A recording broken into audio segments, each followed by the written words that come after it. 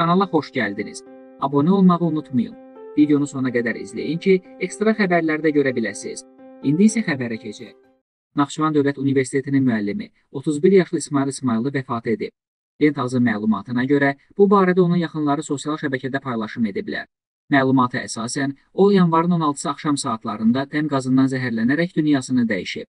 Qeyd edək ki, İsmayıllı Universitetin Memarlıq və Mühəndislik Fakültəsinin Memarlıq kafedrasının müəllimi idi.